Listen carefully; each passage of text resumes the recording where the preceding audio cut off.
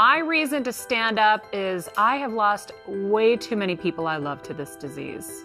That's my reason. What's yours? Share your reason with the hashtag reasons to stand up.